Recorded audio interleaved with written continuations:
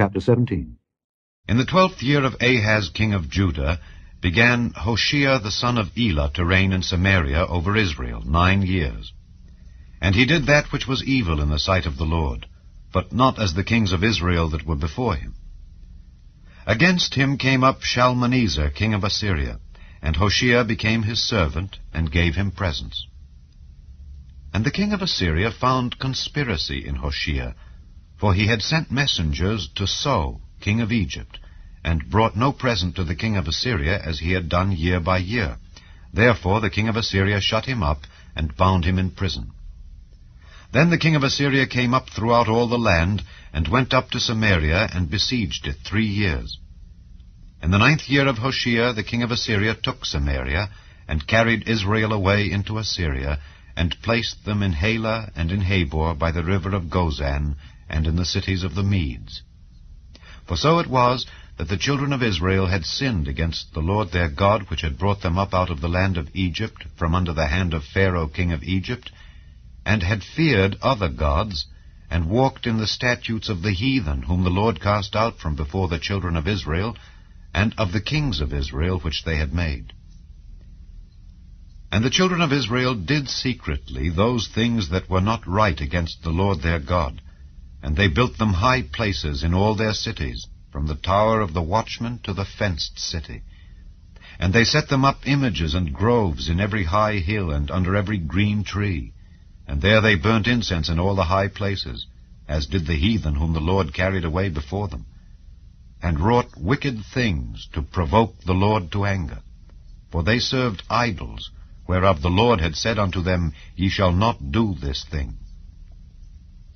Yet the Lord testified against Israel and against Judah by all the prophets and by all the seers, saying, Turn ye from your evil ways, and keep my commandments and my statutes according to all the law which I commanded your fathers, and which I sent to you by my servants the prophets. Notwithstanding, they would not hear, but hardened their necks, like to the neck of their fathers that did not believe in the Lord their God. And they rejected his statutes, and his covenant that he made with their fathers, and his testimonies which he testified against them. And they followed vanity, and became vain, and went after the heathen that were round about them, concerning whom the Lord had charged them that they should not do like them.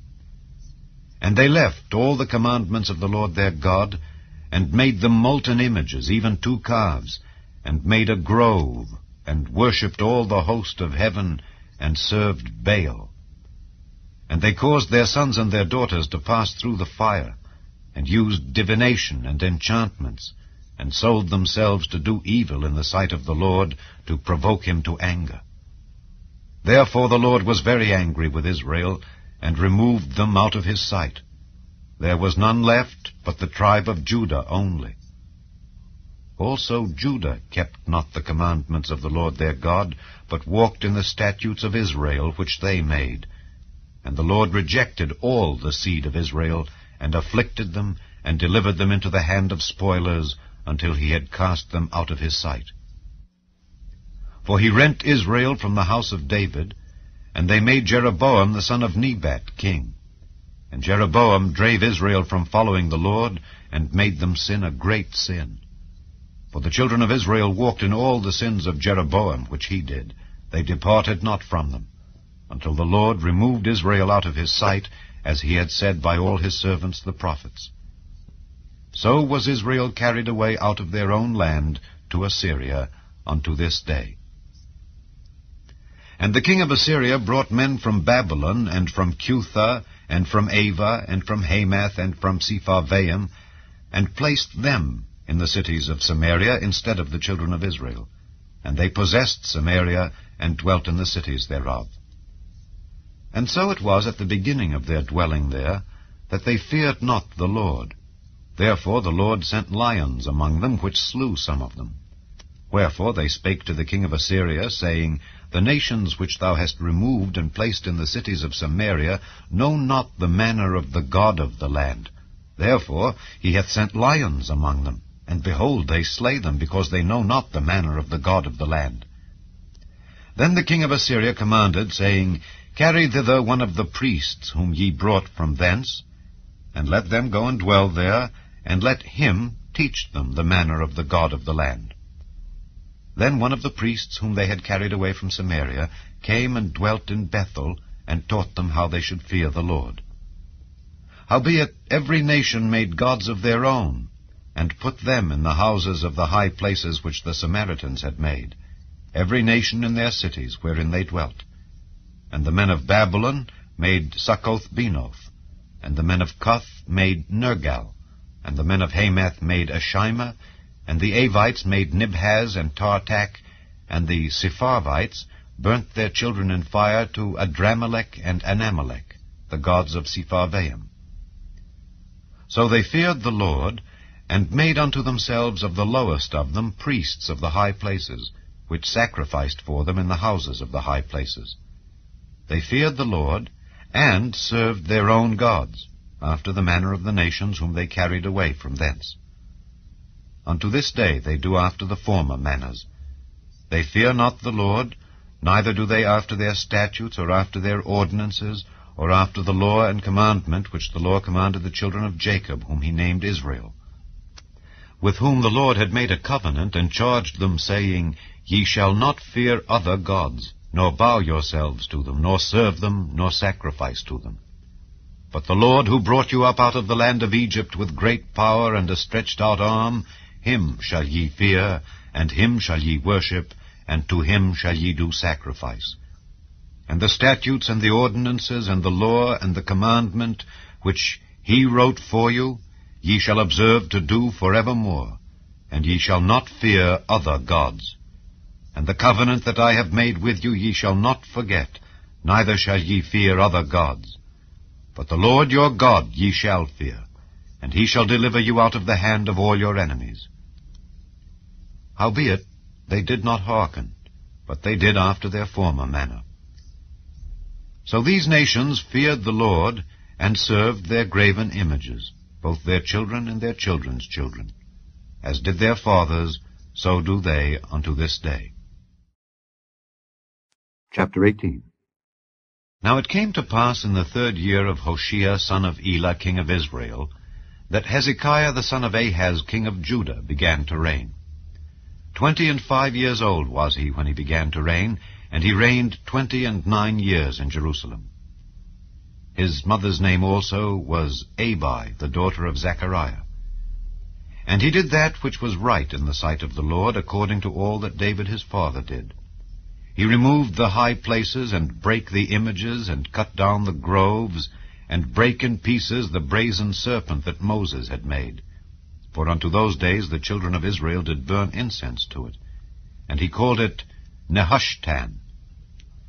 He trusted in the Lord God of Israel, so that after him was none like him among all the kings of Judah, nor any that were before him. For he clave to the Lord, and departed not from following him, but kept his commandments which the Lord commanded Moses. And the Lord was with him, and he prospered whithersoever he went forth. And he rebelled against the king of Assyria, and served him not. He smote the Philistines, even unto Gaza and the borders thereof, from the tower of the watchman to the fenced city. And it came to pass in the fourth year of King Hezekiah, which was the seventh year of Hoshea son of Elah, king of Israel, that Shalmaneser, king of Assyria, came up against Samaria and besieged it. And at the end of three years they took it. Even in the sixth year of Hezekiah, that is, the ninth year of Hoshea king of Israel, Samaria was taken. And the king of Assyria did carry away Israel unto Assyria, and put them in Halah and in Habor by the river of Gozan, and in the cities of the Medes, because they obeyed not the voice of the Lord their God, but transgressed his covenant, and all that Moses the servant of the Lord commanded, and would not hear them nor do them. Chapter 20 And after the uproar was ceased, Paul called unto him the disciples, and embraced them, and departed for to go into Macedonia. And when he had gone over those parts, and had given them much exhortation, he came into Greece, and there abode three months. And when the Jews laid wait for him, as he was about to sail into Syria, he purposed to return through Macedonia. And there accompanied him into Asia Sopater of Berea, and of the Thessalonians Aristarchus and Secundus, and Gaius of Derbe and Timotheus, and of Asia Tychicus and Trophimus. These going before tarried for us at Troas. And we sailed away from Philippi after the days of unleavened bread, and came unto them to Troas in five days, where we abode seven days.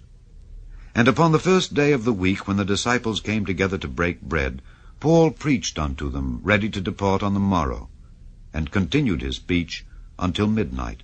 And there were many lights in the upper chamber where they were gathered together.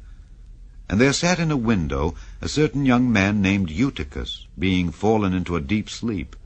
And as Paul was long preaching, he sunk down with sleep, and fell down from the third loft, and was taken up dead. And Paul went down and fell on him, and embracing him said, Trouble not yourselves, for his life is in him. When he therefore was come up again, and had broken bread and eaten, and talked a long while, even till break of day, so he departed. And they brought the young man alive, and were not a little comforted. And we went before to ship, and sailed unto Assos, there intending to take in Paul, for so had he appointed, minding himself to go afoot. And when he met with us at Assos, we took him in, and came to Mytilene. And we sailed thence, and came the next day over against Chios. And the next day we arrived at Samos, and tarried at Trogyllium. And the next day we came to Miletus.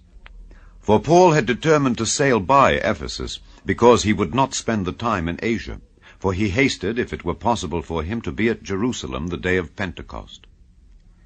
And from Miletus he sent to Ephesus, and called the elders of the church. And when they were come to him, he said unto them, Ye know from the first day that I came into Asia, after what manner I have been with you at all seasons, serving the Lord with all humility of mind, and with many tears and temptations, which befell me by the lying in wait of the Jews, and how I kept back nothing that was profitable unto you, but have showed you, and have taught you publicly, and from house to house, testifying both to the Jews and also to the Greeks repentance toward God, and faith toward our Lord Jesus Christ. And now, behold, I go bound in the Spirit unto Jerusalem, not knowing the things that shall befall me there, save that the Holy Ghost witnesseth in every city, saying that bonds and afflictions abide me. But none of these things move me, neither count I my life dear unto myself, so that I might finish my course with joy, and the ministry which I have received of the Lord Jesus, to testify the gospel of the grace of God. And now, behold, I know that ye all, among whom I have gone preaching the kingdom of God, shall see my face no more. Wherefore I take you to record this day that I am pure from the blood of all men, for I have not shunned to declare unto you all the counsel of God. Take heed therefore unto yourselves, and to all the flock, over the which the Holy Ghost hath made you overseers, to feed the church of God which he hath purchased with his own blood. For I know this, that after my departing shall grievous wolves enter in among you, not sparing the flock. Also of your own selves shall men arise speaking perverse things to draw away disciples after them. Therefore watch, and remember that by the space of three years I ceased not to warn every one night and day with tears. And now, brethren, I commend you to God, and to the word of his grace, which is able to build you up, and to give you an inheritance among all them which are sanctified. I have coveted no man's silver, or gold, or apparel. Yea, ye yourselves know that these hands have ministered unto my necessities, and to them that were with me. I have showed you all things, how that so laboring ye ought to support the weak, and to remember the words of the Lord Jesus, how he said, It is more blessed to give than to receive. And when he had thus spoken, he kneeled down and prayed with them all. And they all wept sore, and fell on Paul's neck, and kissed him, sorrowing most of all for the words which he spake, that they should see his face no more. And they accompanied him unto the ship. Psalm 148 Praise ye the Lord. Praise ye the Lord from the heavens. Praise him in the heights. Praise ye him all his angels, praise ye him all his hosts. Praise ye him sun and moon, praise him all ye stars of light. Praise him, ye heavens of heavens, and ye waters that be above the heavens. Let them praise the name of the Lord, for he commanded, and they were created. He hath also established them for ever and ever. He hath made a decree which shall not pass. Praise the Lord from the earth, ye dragons and all deeps, fire and hail, snow and vapor, stormy wind fulfilling his word, mountains and all hills, fruitful trees and all cedars, beasts and all cattle, creeping things and flying fowl, kings of the earth and all people, princes and all judges of the earth, both young men and maidens, old men and children. Let them praise the name of the Lord, for his name alone is excellent. His glory is above the earth and heaven. He also exalteth the horn of his people, the praise of all his saints, even of the children of Israel, a people near unto him. Praise ye the Lord.